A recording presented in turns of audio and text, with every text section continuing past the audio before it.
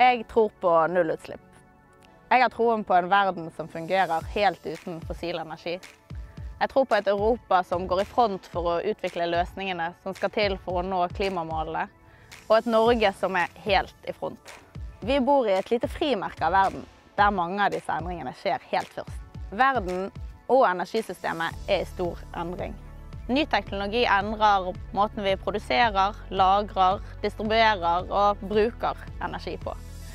Og ny teknologi, bruk av data, nye algoritmer gjør også at vi kan kjenne igjen mønstre og bruke kundeinnsikt på en helt annen måte. Det kanskje lage nye produkter som kundene våre trenger i større grad fremover. Vi tror at oppstartsselskap kommer til å spille en viktig rolle for å få utviklet løsningene som skal til for å få til et fornybart samfunn. Mange av løsningene som kommer til å prege fremtidens energisystem, er kanskje ikke laget ennå. Derfor tror jeg det er viktig med samarbeid nettopp mellom oppstartsselskap og tradisjonell næring, sånn som BKK.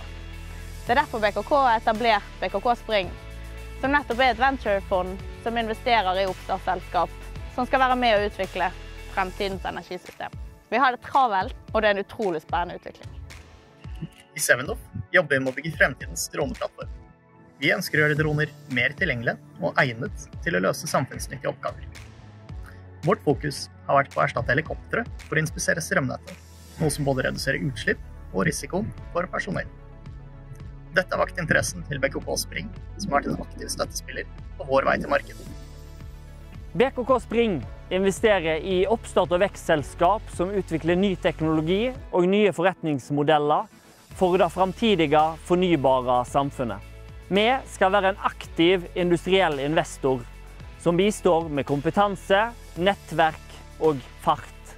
Vi skal booste våre oppstartsselskap sin vekst og være med på å rigge dem for å lykkes.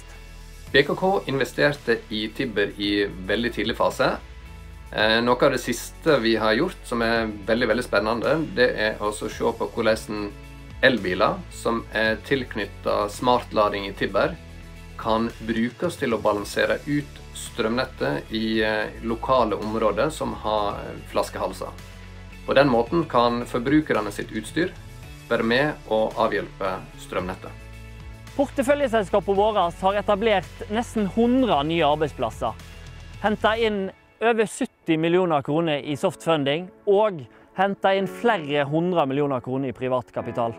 Dette er bare begynnelsen. På framtida